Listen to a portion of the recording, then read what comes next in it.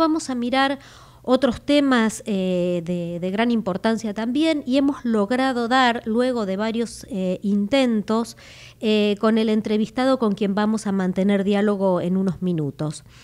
Creo que el tema de la obesidad es un tema de preocupación y de ocupación de muchos, de muchas, y a veces ante medicaciones milagrosas, ante dietas prometedoras o recetas mágicas, pudimos lograr dar con él. Y está en línea Esteban Larronde, él es médico cardiólogo, autor de numerosos artículos y a ver, una mente prodigiosa, ya lo van a ya lo van a poder conocer, nos va a ayudar a pensar y analizar este tema de obesidad. Así que buenas tardes, doctor Esteban Larronde. Guillermina Rizo lo saluda. Buenas tardes, Guillermina, ¿cómo estás? Acá Esteban. Bien, un gusto.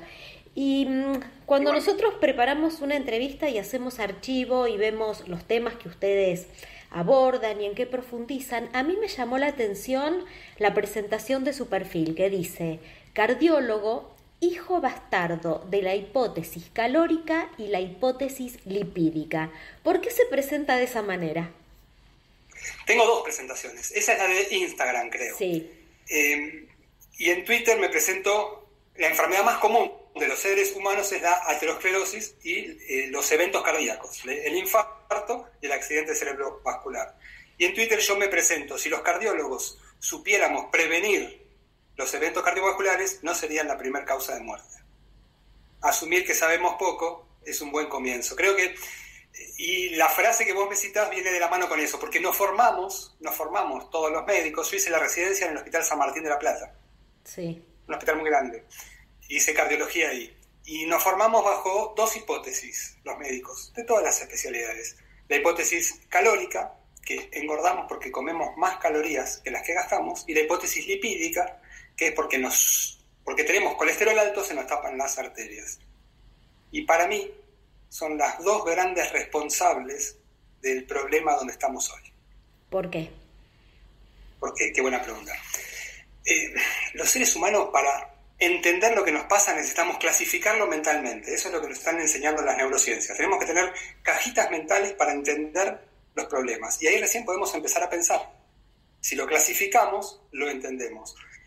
Creo que la enfermedad cardiovascular y los factores de riesgo como obesidad, hipertensión, diabetes tipo 2, los estamos encasillando mal. Estamos, estamos viendo enfermedades donde tal vez no haya enfermedades, sino intentos del cuerpo de evitar una enfermedad. Vamos, si querés, a profundizar de esto porque es apasionante.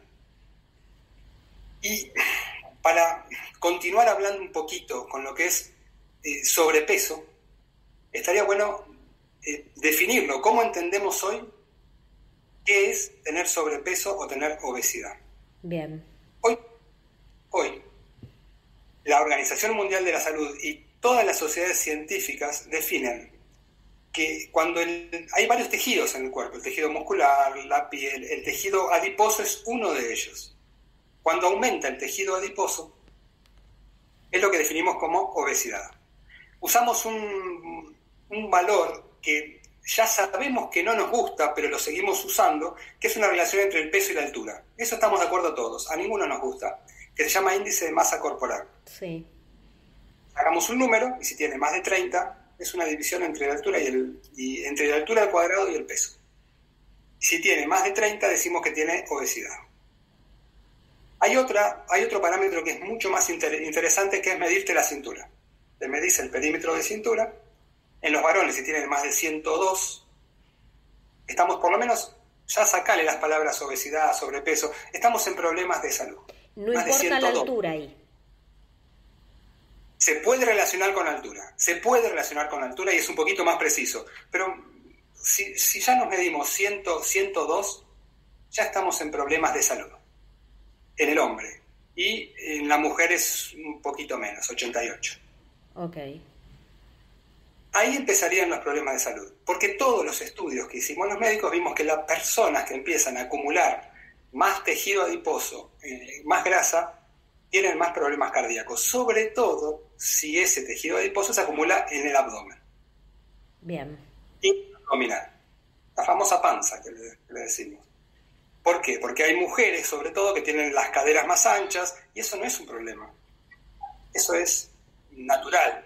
La grasa subcutánea no sería un problema, excepto si es en exceso por el sobrepeso que le acarrea a las articulaciones, bueno, otras cosas. Pero sí, el problema desde el punto de vista cardiovascular es la grasa intraabdominal.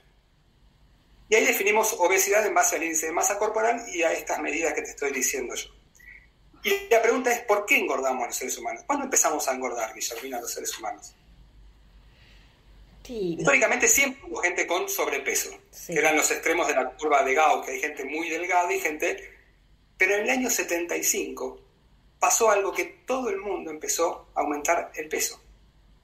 Todo el mundo, en forma generalizada. Si vos ves las curvas son fantásticas. Empezamos en el 75 a aumentar todo el mundo de peso. ¿Eso es a nivel mundial, esa, esa fecha? A nivel mundial, sí. Algunas ciudades fueron más tardías, otras más tempranas, pero todo el mundo empezó a aumentar de peso. La tasa de sobrepeso, obesidad en Argentina en el 2018, que es la última encuesta, ronda el 70%. Siete de cada diez personas tienen sobrepeso u obesidad. Sí. Es muchísimo, es muchísimo. Eso en Argentina. Hay ciudades en Estados Unidos que son el 80%. 80%, 8 de cada 10.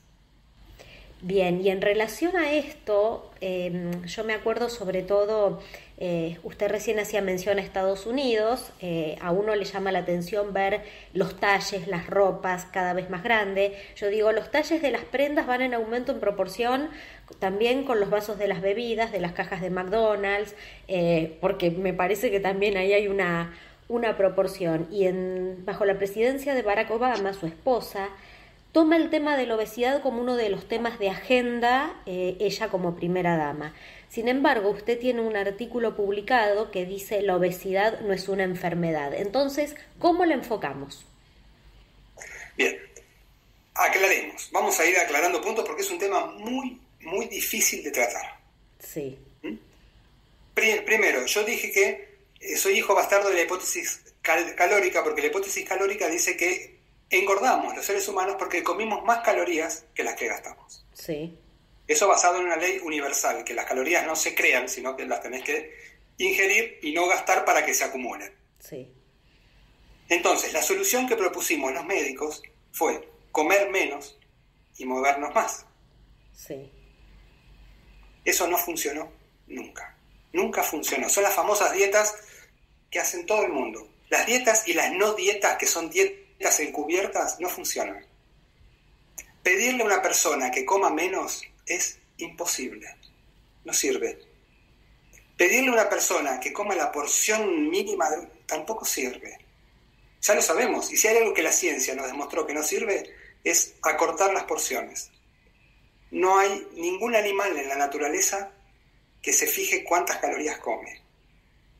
Eso lo reguló siempre el hambre y la saciedad hambre y saciedad. Eso es lo que nos va a defender de la cantidad de alimento que vamos a ingerir. En la naturaleza, no sé si vos te acordás cuando íbamos a la escuela, había una curva que cuando los zorros empezaban a comerse los conejos, disminuía la población de, los conejos, aumentaba la de los zorros, bajaba la de los conejos, empezaba a haber menos comida para los zorros y bajaba la población de los zorros. Como había menos zorros, se reproducían más. Cuando había más conejos, los zorros no engordaban, se reproducían más. Cuando hay más comida en la naturaleza, los seres humanos no engordamos. No es una cuestión de disponibilidad de comida. No es porque en, la, en, la, hamburguesería rápida te, sirvan la, cosa, la, la porción más grande. Ese es tal vez uno de los factores.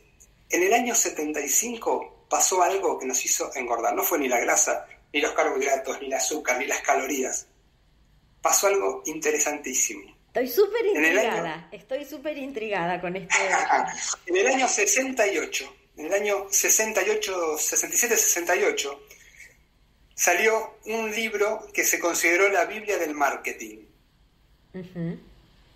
Cambió, las estrategias de venta pasaron de 1.0 a 2.0. Antes, cuando uno vendía algo, decía helado, helado, sandía, o qué, y uno promocionaba su producto. A un estratega, a un genio, hay gente muy inteligente, se le ocurrió estudiarte a vos, a lo que te gusta a vos. Y cambió el objeto a lo que se dirigía ahora el marketing. Ya no iba más sobre el producto, iba sobre el comprador, sobre la cabeza del comprador. Empezaron a estudiar neurología y neuroanatomía y nuestros gustos. Empezaron a saber de nosotros y lo hicieron mucho mejor que los médicos y los nutricionistas. Aprendieron bien. ¿Por qué? Porque lo veían reflejado en las estadísticas de venta. Claro. Si ellos vendían más, estaban haciendo las cosas bien. Si vendían menos, no. Y fueron corrigiéndose hasta lograr estrategias de venta maravillosas, que no solo iban en la publicidad, esa es una de las estrategias de venta. Fueron mucho más allá, fueron, fueron a la estrategia de góndola, a los colores, a los envases. Cuando, por eso cuando, cuando te dicen, esto no engorda porque no tiene azúcar, no, pero tiene un envase, tiene una etiqueta, tiene, tiene colores, está puesto en un lugar de la góndola, tuvo publicidad, y más aún, fueron por nosotros, fueron por los profesionales. Vos vas a ver muchos profesionales que trabajan para estas industrias, que promocionan polvitos, promocionan jugos de estos, promocionan, promocionan esto. Fueron por todo, porque saben que así aumentaban las ventas. Y lo hicieron, y les fue muy bien. Tan bien que lograron aumentar las ventas muchísimo. Pero también aumentó atrás, que no era la intención de ellos engordarnos. Pero atrás vino eso. Fueron por nuestro centro de placer, fueron por nuestro cerebro, y lo consiguieron. Por eso empezamos a engordar porque nos tocaron a donde nos gusta. Y los seres humanos tenemos una particularidad. La voluntad casi no entra en juego. Cuando te tocan determinados centros de placer, tu voluntad casi no entra en juego. Tenés que ocuparte para que entre en juego. Tenés que, pero vos cuando entras a un supermercado, compraste, agarraste y con la inteligencia después decidís por qué o justificás el por qué. Lo agarré, ah, sí, porque lo quiero probar. Ah, sí, porque y ya lo justificaste pero lo agarraste. Y esto se basa en algo interesantísimo. Si me estoy yendo mucho, avísame. Se basa en un premio Nobel. Estudiaron a un premio Nobel. Un premio Nobel que se llamaba Nico Timbergen. Nico Timbergen, los padres de Nico Timbergen tuvieron, fueron los únicos seres del mundo que tuvieron dos hijos premio Nobel. Uno de economía antes y después Nico Timbergen, que estudiaba los insectos, insectos, animales, la conducta.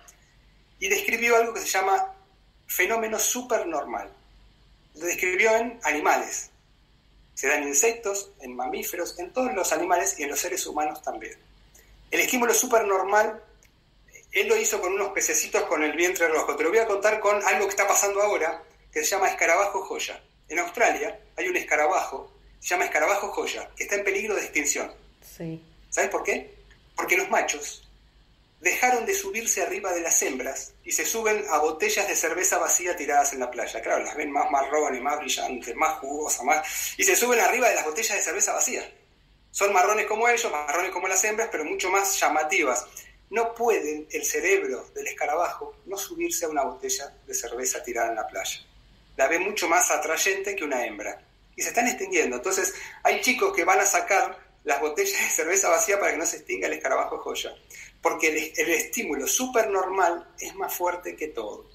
Y nosotros no, no estamos tan lejos de... Nuestro cerebro tiene una parte muy primitiva, que es emocional, que es el sistema límbico, que responde a esos impulsos. Y no y la voluntad llega siempre tarde. La, la, inteligencia llega más tarde porque la vía es más nueva y esa, y esa conexión, por explicarlo de alguna forma, es más tardía. Y para lograr manejar tus emociones tenés que trabajarlo y sentarte, no es tan fácil. Impulsivamente reaccionamos así. Y estos son nuestros centros de placer. Fueron por nuestros centros de placer y lo consiguieron. Fueron por nuestra hambre y nuestra saciedad para aumentar sus ventas. Bien. Eh, debo confesar que todo lo que tenía pensado preguntarle eh, lo ha dado vuelta.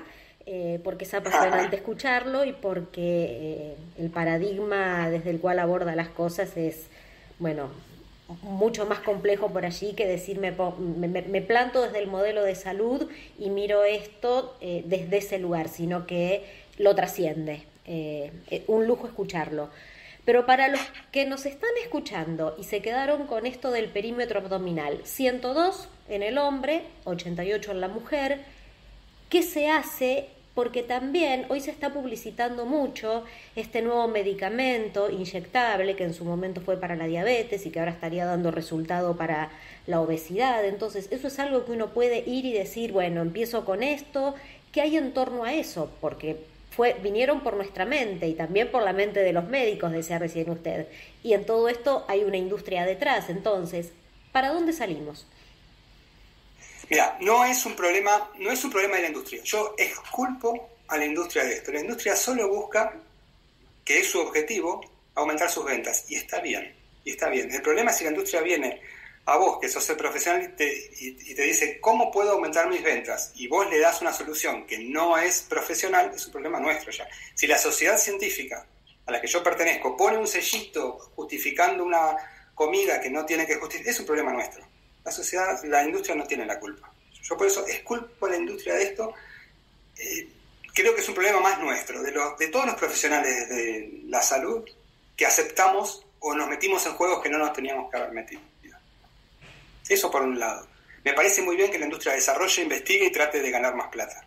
Está perfecto. Nosotros tenemos que decirle, no, vea, hasta como hicimos con el tabaco, exactamente lo mismo. Hay publicidad donde los médicos promocionaban el tabaco en los años 50.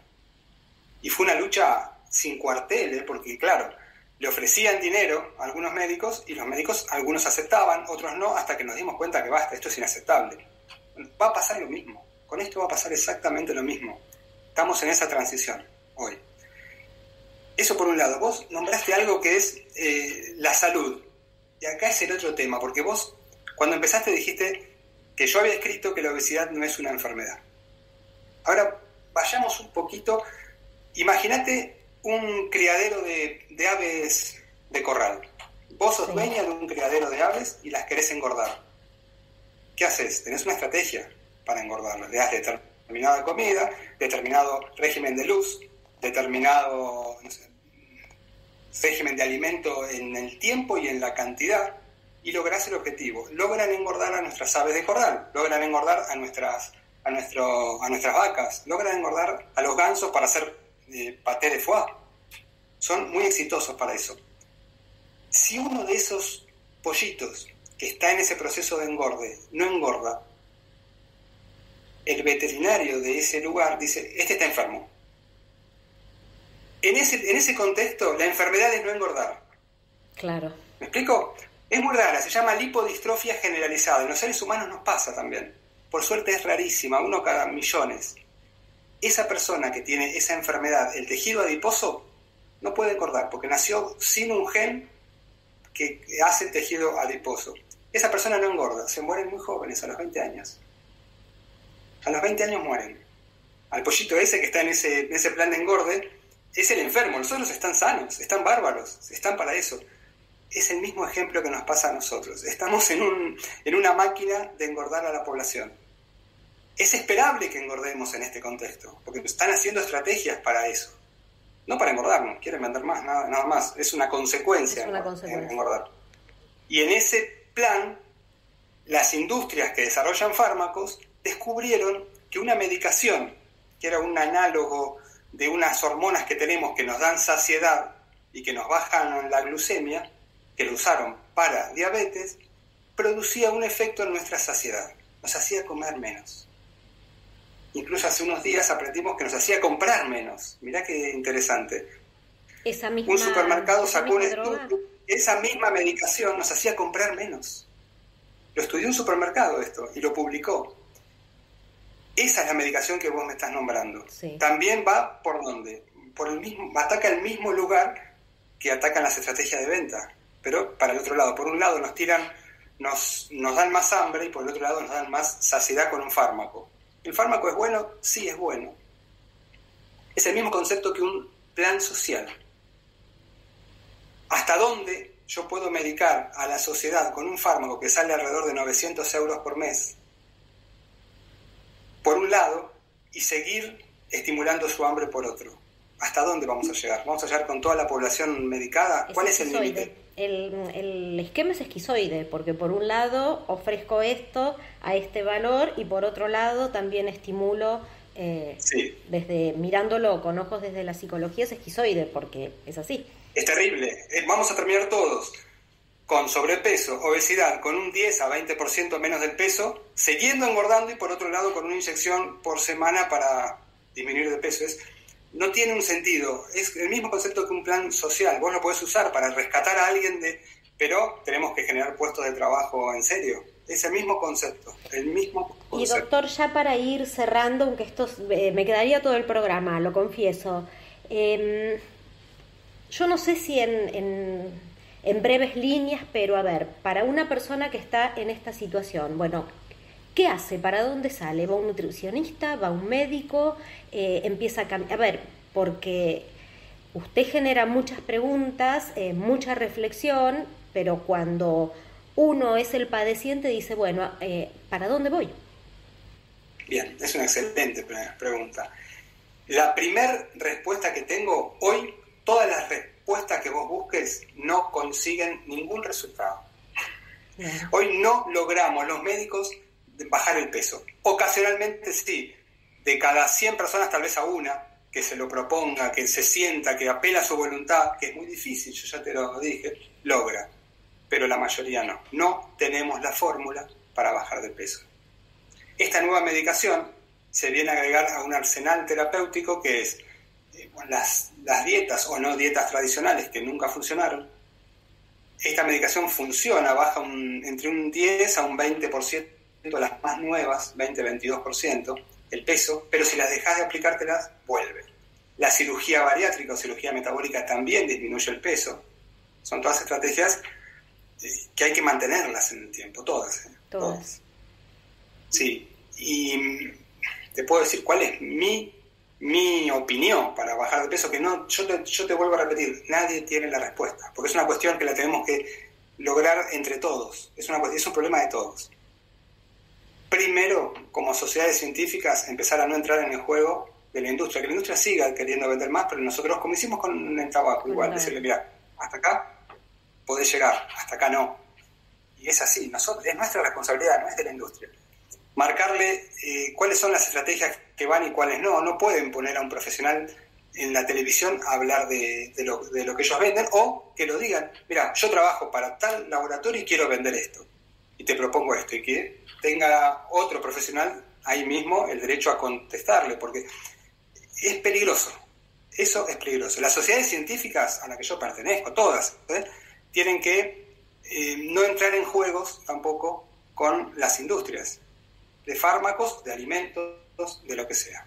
Es un trabajo difícil, difícil, pero se va a ir dando solo, como se dio con el tabaco. Eso por un lado. Ahora, ¿qué hacemos con el uno a uno, ¿no? con el paciente que viene a mi consultorio o que va al consultorio de cualquiera? No hay mucho secreto. No hay mucho secreto para eso. Tenemos que volver a la comida tradicional, la comida para seres humanos, le digo yo. Lo que está vivo como una planta o estuvo vivo hace muy poquitito. Lo que uno puede ver crecer en el campo. No hay algo así como un desayuno dulce con una tostadita, un queso light, no existe eso. La comida es siempre comida. Verdura, carne, fruta, huevo, comida. No hay otra opción. A la mañana, comida. Te sentás y comes comida. En el medio no se come nada. En el trabajo no se come, en la escuela no se come, en los viajes no se come. Cuando uno se sienta, come cuánto, toda el hambre que tenga se come todo el hambre que uno tenga, pero de comida. Nunca te vas a pasar con brócoli, con sardinas o con pollo. Es verdad. Es verdad. Y de pollo se come una fruta. Una fruta entera no se hace ni jugo, ni, ni jugos de esto, ni batidos, no. Comida. Tenemos que volver a la comida para seres humanos, a la comida de tatarabuela. Exactamente. Si, tu tatarabuela vuelve a la vida hoy, que lo reconozca como comida, que no diga eh, dietético light, bajo. No, no, si tiene eso ya no es, ya no es, no es comida. Por eso el etiquetado frontal, que se discutió mucho, es un avance, pero si no tiene etiqueta, mejor. Si no tiene etiqueta, porque la carne, la verdura, la fruta no lleva etiqueta, no lleva envase, no lleva mejor, mejor. Si tiene etiqueta, te ayuda un poquito más. Algunas cosas, como algunos enlatados, como las sardinas, bueno, son buenas y la etiqueta ayuda, sí, mucho, pero eh, básicamente es eso. Bien, bueno, Esteban, eh, un placer. Em, yo me he quedado maravillada escuchando y siempre, tal vez por mi disciplina, digo, cuando eh, a quien entrevisto me genera nuevas preguntas, es que la entrevista ha sido eh, excelente y eso es lo que has logrado. sé que mucha gente se debe estar preguntando, así que gracias. Bueno, acá estaremos para cuando surjan algunas preguntas. Gracias.